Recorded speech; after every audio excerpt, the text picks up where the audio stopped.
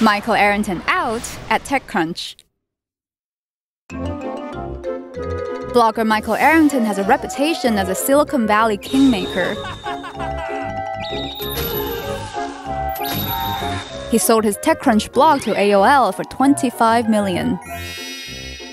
Arrington started Crunch Fund, a venture fund for tech companies. Big name investors lined up hoping to catch some deal flow.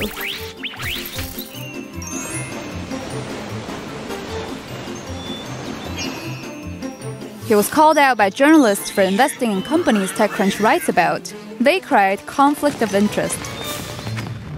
AOL's Tim Armstrong initially defended Arrington, but Arianna Huffington said he's definitely out. Despite already being fired, Arrington has given AOL an ultimatum stop messing with TechCrunch or he'll leave.